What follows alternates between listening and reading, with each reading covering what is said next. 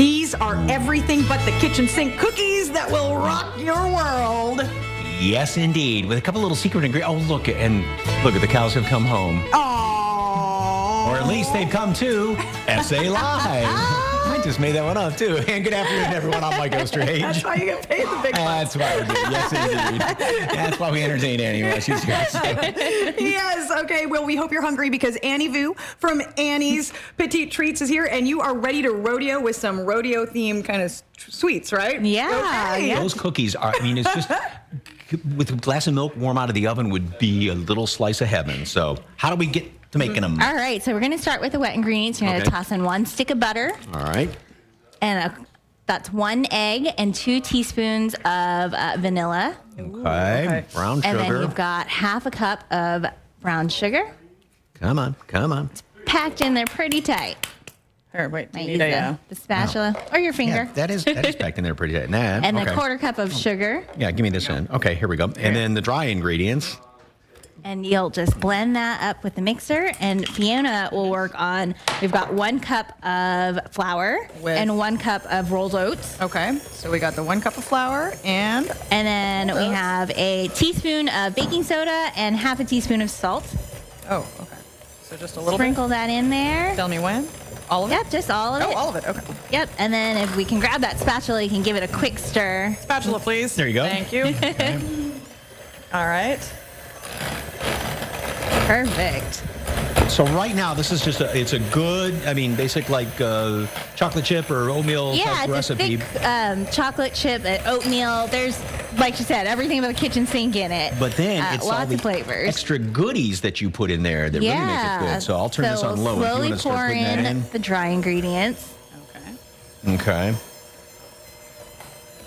So do you go like experiment with different things to put in your cookies and then go, that that's pretty good, and and your husband gets to go, no, I don't like this, or I like this, or he is actually a plain vanilla sugar cookie. Don't adulterate my treats with anything else kind of guy. So he is probably the worst taste tester for me. No. But I love chocolate chips. I love trying different Okay. things. Um, and this one, we actually have some pecans because these are cowboy cookies, and we're in Okay. Texas. Um, we also have some. Um, so this is a three quarter cups of pecan. So throw that in there. You can Okay. pour that in there, All and I right. can stir. Okay. And then we've got three quarter cups of um, sweetened coconut. You can leave this out if you're not a coconut person. One cup of We're- we're- we're um, of coconuts. chocolate chips, chocolate chips, and and then one cup of butterscotch. and the secret and the ingredient. secret ingredient. This is uh, cornflakes. It gives the cookies a crunch that you didn't even know you needed in a cookie, but it's perfect.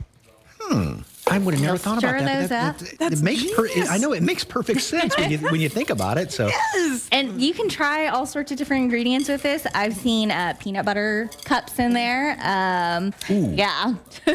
ooh, that would So be peanut butter really cups, different good. kinds of cereal, um, just whatever you got in the kitchen, toss it in there. Well, I'm making kind of a mess, but once, once you get all that together, you're gonna Yep. scoop it onto Scoop the, it up the wax into, paper, right? Um, quarter cup balls. So there's two ways you can do this. Mm-hmm. If you like a crispy, thin cookie, then you can just scoop it right onto as the is. tray. Leave it Bake that it way. at 350 for eight to 10 minutes, just like that. Okay. Um, I like my cookies nice and thick and chewy like this. And so Yeah. I'll roll them into little snowballs, put them in the refrigerator for about two hours, Uh-huh. and then bake them again 350, eight to 10 minutes. straight out of the fridge Straight out into of the, hot fridge. So they oven. Hold their So it shape a holds little that more, shape. right? And so you'll see like the browning edge at the end and the middle will still kind of look a little gooey, maybe even a little raw, but it's totally fine as long as the edges are, are crispy. When they're, when they're gooey in the inside. With the Yeah, tri- it's that- that- perfect. oh yeah, yeah. And that- then that's it perfect. finishes cooking on the tray as it cools. So you can just leave it on the uh, baking tray for about Oh. 10 minutes.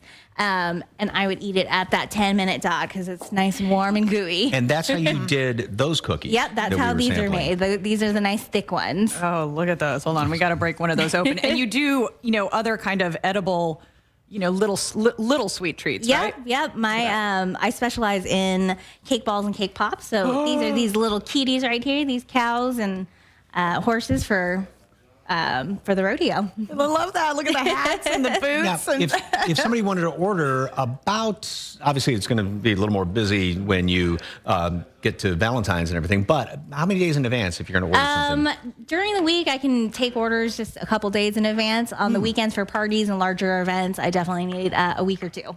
Okay. Yeah. How are those cookies? oh, you got a dance out of them earlier. You went, yes. Well, just, this I mean, is good. You know, when your your tongue See, is it was just this. You got that. He was eating it. Yes. Feeling it. He's feeling it, yes. All right, if you want to place an order now, go to our site, salive.com, where you can find a link under the As Seen on SA Live tab. Well, I'll tell you.